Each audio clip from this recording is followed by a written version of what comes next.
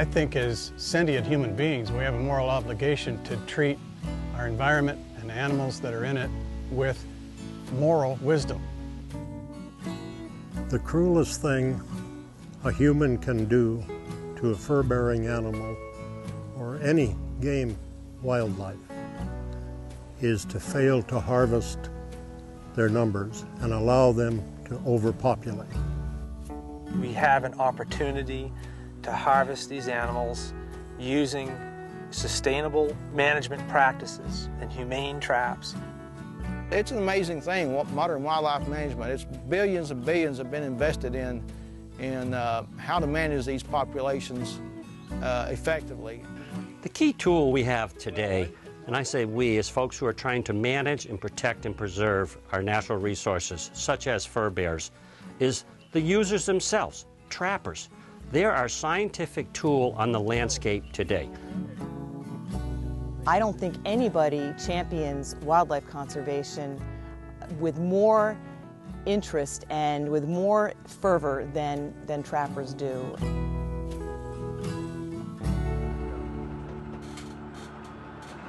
So, what are you guys doing this weekend? I'm gonna go to the movies with Ethan. I got a hot date with my Xbox.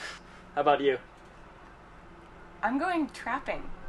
What? What? Trapping? Yeah. I go trapping with my grandfather. You know, an activity in the woods. Jeez. It's actually really fun. Do you want to come? Oh, uh, uh, maybe. What am I getting myself into? No, it'll be fun.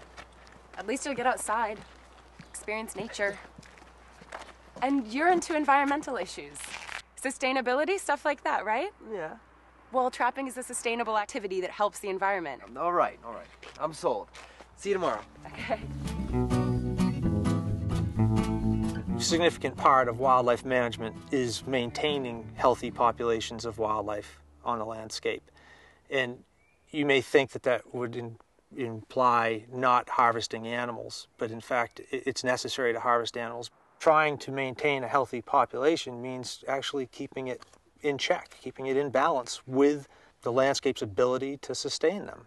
It's really quite difficult to be an animal in the wild. And there's lots of ways that animals die. I mean, they die from getting hit by cars, they die from predation, they die from disease. And then trappers who really, really care about animals actually take animals that would otherwise die of other means. And wildlife biologists and trappers alike care about the perpetuation of these wildlife populations because that's really what's important from the standpoint of ecosystem health. Hey, Emily. Oh, really great to see you. You must be Jack. Hey, Mr. Lewis. Nice to meet you. Welcome to Hands on Wildlife Management.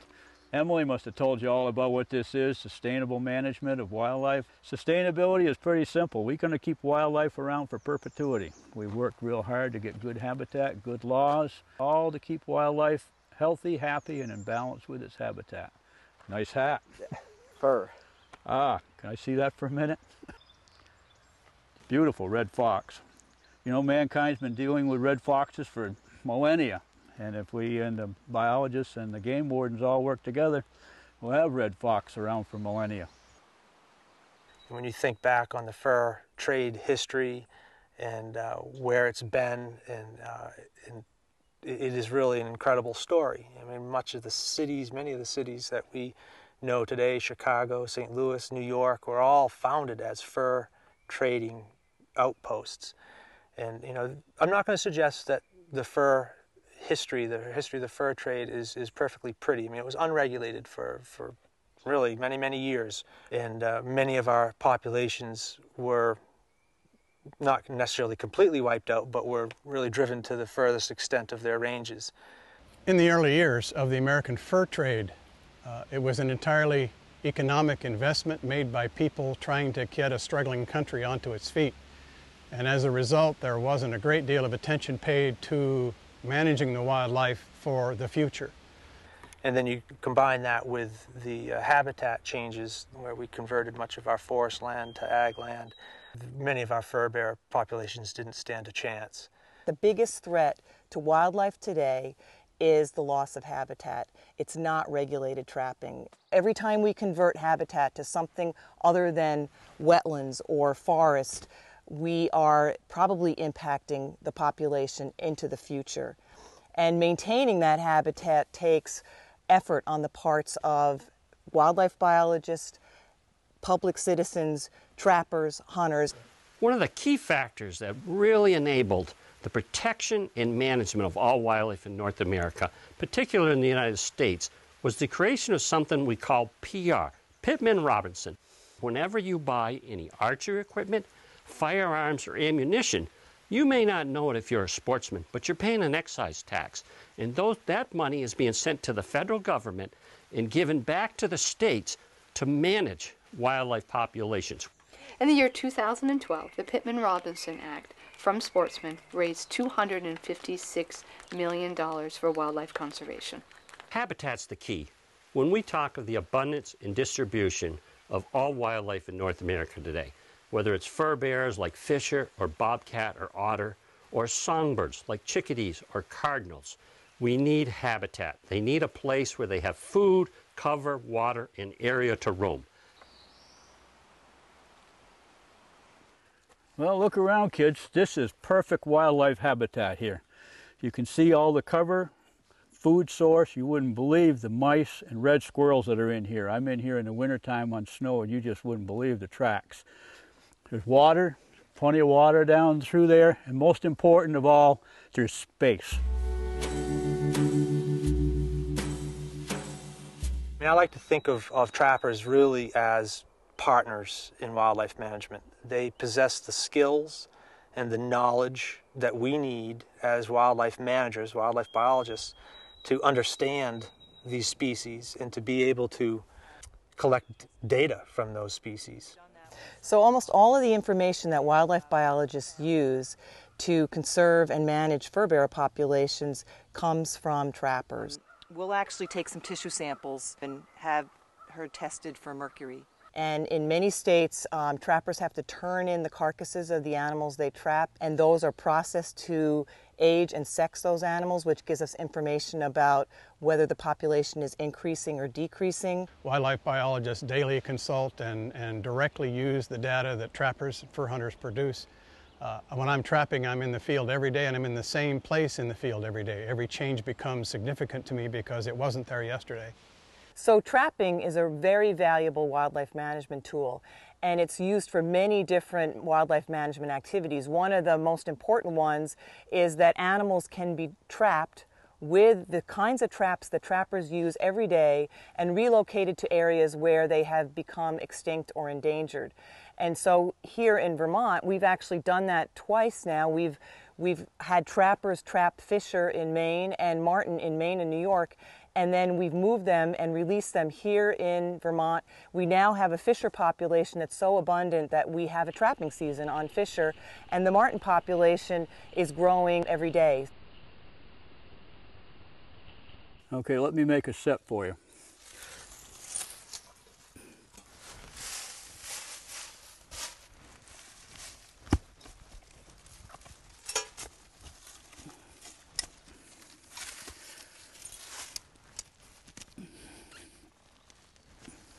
I'm sorry, no offense, but can't traps actually really hurt animals? So if you get something other than a coyote, you'll injure them to the point where they may not be able to survive? That's a misconception a lot of people have. Let me show you something. Ready? That was true once, that image of a horrible rusty trap that hurts the animal, but now the traps just hold onto the animal's paw and doesn't let them go. Grandpa once caught a cat when we were trying to get some skunks away from the town hall, and we just let the cat go. He went right off. When most people think of traps today, they think of, you know, what traps were before, what they used to be. And, you know, they, they have visions of these large, you know, steel traps with interlocking teeth. And in fact, you know, traps have evolved greatly, uh, particularly in the last two decades, um, and trapping methods have evolved greatly. in the last 15 years, um, we've done an extensive research project. It's probably the largest one ever. The trap doesn't have to be huge and it doesn't have to be strong to hold good. Yeah. And we wanted to make sure that traps and trapping were doing the most for animal welfare, safety of the trapper, efficiency, and um, selectivity. You know, the, the modern foothold trap, for example, is perhaps the most widely deployed trap by trappers in, in the United States and is, to many people's surprise, a very, very humane trap. They weren't fighting the trap at all. Half the time you walk up and the fox is sound asleep, he didn't hear you coming. What a set actually is, is the trap, of course, but the most important thing is the location and to a very lesser extent, whatever the attractor happens to be. Now, the thing you have to understand with coyotes and most fur bearers is that they don't have sweat glands and they live in a world of smells. So what happens is they pass their body odors out through their urine and we can get that coyote to think that I've got another coyote in this area and he's going to come in and want to check this out because that other coyotes in here is after his food and perhaps his territory. And that's what I'm going to try to create with this set. They have an ability to smell that's 8,000 times better than ours. They have an eight power vision set of eyes and they can hear a mouse squeak in calm weather 200 yards away.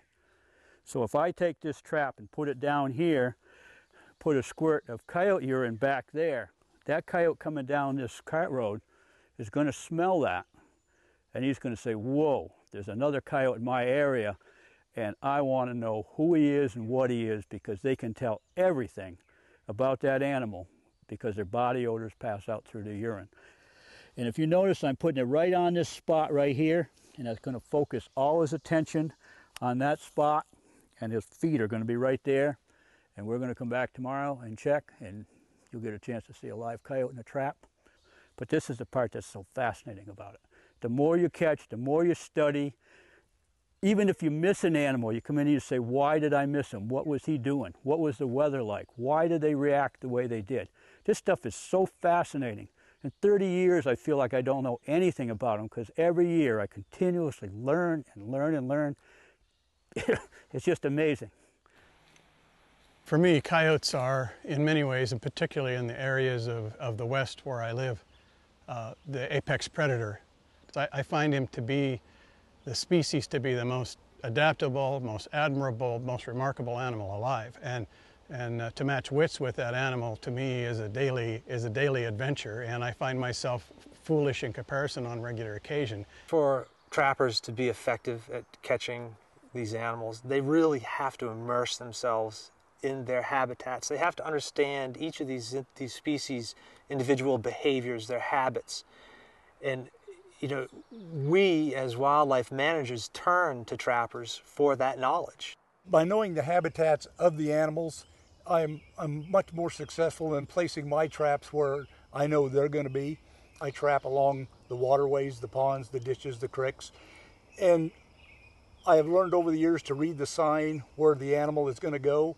The, they always travel the, the road that is least restrictive to them when you go out and you see that you've missed that animal just by one step, it's just like, okay, I have to learn to think what that animal's thinking and to see if I can set the trap right where he will set his foot. We first started dating when she was 17 and I was actually still 17.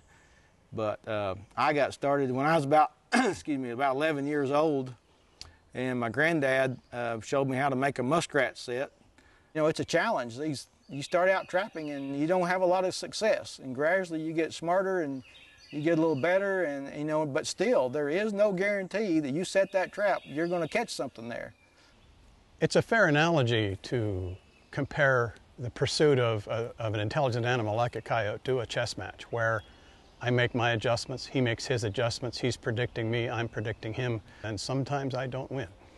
With trapping, when you're actually getting after a live animal adds more adrenaline to it than what you'd have in a video game. The way video games and trapping is kind of similar is that in video games you have the object of getting through that mission. When you get a, raccoon and you got he's on trail, you got to think of all the odds of he could go this way or he could go this way and maybe he could go straight through and get in your trap One of my responsibilities is to see that I pass along our heritage and educate the younger trappers that are coming up in the proper methods of take and how to treat the animals humanely. My grandpa started me off. I started hanging out with him. The best part of trapping for me is talking to all the old timers and learning all the knowledge and experience that they've been through through the years. My grandfather, we spend a lot of time together whenever we trap. A lot of bonding. You know, a lot of stuff he does. I don't know how many years it took me to pick out these little faint trails you can see. Yeah, I right? think trapping is very ethical. As trappers, we see what Mother Nature does. We see what happens with overpopulation. We see what happens with disease. And I think if we don't protect them and utilize them the way that it's supposed to be in order to control the population, then we as parents can't pass this on to our children. We deeply care about wildlife. We pay to see that it flourishes because it's in our best interest, it's in wildlife's best interest. When trappers take an individual animal, they take it knowing that they're actually benefiting the species and the population because they know that they're contributing to the long-term viability of that population. That's really great to have you here, Emily. Well, Jack, you learned an awful lot about trapping, trappers, and the value of trapping as wildlife management. You've listened to the professionals. You realize what value our knowledge has in wildlife management. Now let's take a selfie.